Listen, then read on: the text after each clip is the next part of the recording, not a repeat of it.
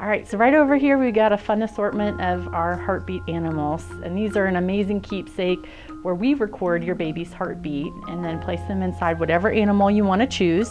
Um, I still have my daughter, so she's two years old. We had the little pink bunny for her, and it's still fun to listen to that little heartbeat. Beat. Um, let me think about what I want to say.